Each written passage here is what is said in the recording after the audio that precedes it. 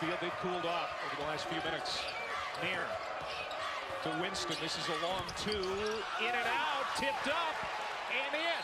And Greg Kampe wants a goaltending call. They call it a basket on the floor. They may go to the monitor on this one. Kampe was saying it was up on the rim when it was touched. Yeah, we'll take another look at this. Man, ball really does almost go all the way in, doesn't it? That looked to me like it was off the rim at that point. How much more in could that ball go before it jumps out? So it's a basket given to Nick Ward.